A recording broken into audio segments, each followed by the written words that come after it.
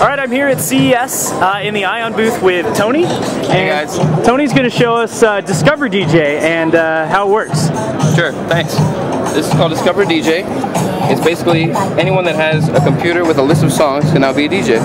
Uh, you have a controller that plugs into your computer via USB. You have a left side and a right side. They're touch sensitive as you can see. I have a song playing right now.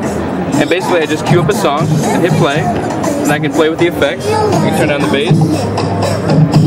The treble. Change the pitch. And now cue up another song.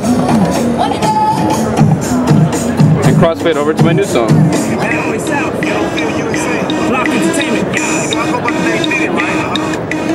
So any songs that I have in my library, it comes with software called Mixvibes that allows me to match up the beats of the songs here. You see the lines going across, and it automatically syncs any songs you have on your computer. That's pretty cool. So And now, you- go can you scratch with this as well? Yeah, you can. There's a scratch effect here. So if I have a song playing, I can just stop the song.